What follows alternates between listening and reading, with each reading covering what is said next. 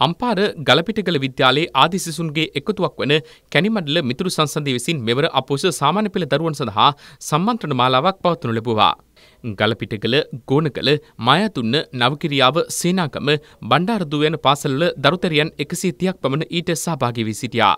ජනප්‍රිය ඉංග්‍රීසි විද්‍යා සහ ගනිත ගුරුවරුන් ගෙන්වාගෙන දින තුනක් පුරා මේ පැවැත්වුණා. ගාල්ල නාගොඩ ගෝනගලගොඩ විජයබාහු ප්‍රාථමික විද්‍යාලයේ අභිනවයෙන් ඉදිකළ බුද්ධ මන්දිරය විවෘත කිරීම පසුගියදා එම විද්‍යාලයේ විදුහල්පති රවින්ද්‍ර චන්ද්‍රලාල් මහතාගේ ප්‍රධානත්වයෙන් සිදු කෙරුණා. මෙම බුද්ධ මන්දිරය දානපතින්ගේ සහ දෙමව්පියන්ගේ ශ්‍රමදායකත්වය සහ පරිත්‍යාග මතයි ඉදිකෙරුණේ. ගම්පා රත්නාවලි බාලිකා විද්‍යාලයේ තාක්ෂණ දින උත්සවයේ එම විද්‍යාලයේදී පැවැත්වුණා. තාක්ෂණවේදය විශ්වධාරාවෙන් අධ්‍යාපනය ලබන සිසුදරයන් මෙහිදී සිය කුසලතා එළි දැක්වූවා. ඉවනෝරා 24 යනුවෙන් මේ නම් කර තිබුණා. විදොල්පති වසන්තා කුමාරි මහත්මයගේ උපදෙස් අනුවයි උත්සවේ සංවිධාන කෙරුණේ. මහාචාර්ය අරුණශාන්ත මහතා ප්‍රධාන දේශනය මෙහිදී පැවැත්වූවා. ඇම්බිලිපිටිය මඩුවන්වල ජනපද බක්මා උලිල උත්කර්ශවත්ව පැවැත්වුණා. ඒ මඩුවන්වල විද්‍යාල පරිශ්‍රයේදී.